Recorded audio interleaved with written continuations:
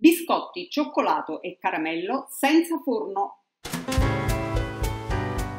Preparate il caramello. Sciogliete lo zucchero un po' per volta in una padella antiaderente.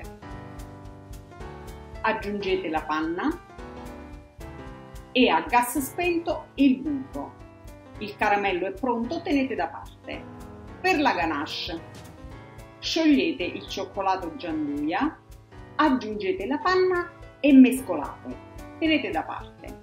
Per la base dei biscotti, sciogliete il cioccolato fondente, aggiungete il burro e mescolate. Frullate i biscotti, unite il riso soffiato, il cacao e il cioccolato fuso col burro. Mescolate. Prendete un po' di impasto con le mani bagnate e fate una pallina rotolatela nella granella di nocciole.